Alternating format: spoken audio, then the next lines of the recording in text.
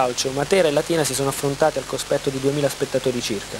L'incontro, che si presentava alla vigilia complicato per il Matera, data l'attuale situazione del Latina alla ricerca di punti e di consensi per risolvere una delicata situazione societaria, si è risolto con la vittoria effettivamente sofferta del Matera per 1-0. Squadra biancazzurra ha dovuto infatti faticare per avere ragione di un Latina che annoverava tra le sue fila giocatori sicuramente di categoria superiore, tra i quali ricordiamo il fantasista Luperto, ex Lecce, Genoa e Arezzo, e il portiere Goletti, ex Taranto. Comunque, quello visto oggi allo stadio 21 settembre era un gran bel Matera che ha avuto nella tenacia la sua arma migliore.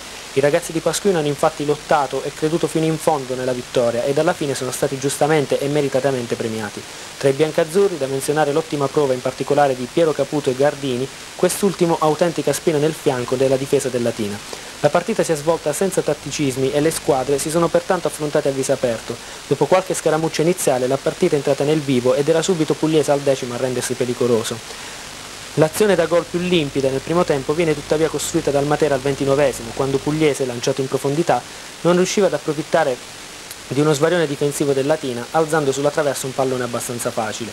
Al 45esimo era Caputo a mettere in movimento Danza su calcio di punizione, ma il cross al centro del terzino materano veniva bloccato da Goletti in uscita, che anticipava di un soffio la corrente Tanzi. Nel primo tempo, da ricordare per il Latina, una punizione di Luperto che ha sfiorato l'incrocio dei pali della porta difesa da Morciano. Nella ripresa il Latina è sceso in campo, deciso a conservare il pareggio ed ha tentato di addormentare la partita, cosa che non è avvenuta.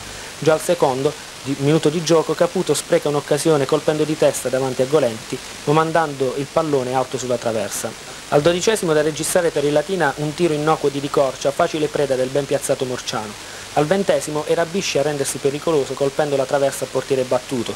Era il preludio al gol che giungeva al ventiseiesimo dopo un'azione personale di Bisci che evitava l'intervento di due difensori e metteva alle spalle dell'incolpevole Goletti. Per la cronaca al 44esimo il Matera ha reclamato per un fallo in aria su Gardini ma il signor Ruggero di Nocera Inferiore non ha ritenuto ci fossero gli estremi per concedere la massima punizione. La partita finiva così tra gli applausi del festante pubblico materano che ha potuto godere di un ottimo spettacolo. Quanto al Latina va detto che la squadra di Sibiglia ha mostrato una buona organizzazione di squadra ed è dotata di giocatori che possono, se messi in condizioni di maggiori tranquillità, ricordiamo che i giocatori del Latina non percepiscono stipendi da due mesi, potrebbero fare la differenza in questo campionato. Per il momento però questi problemi sembrano pesare troppo sulla squadra e pertanto ogni giudizio di carattere tecnico-tattico sui nerazzurri laziali è senz'altro azzardata e priva di fondamento.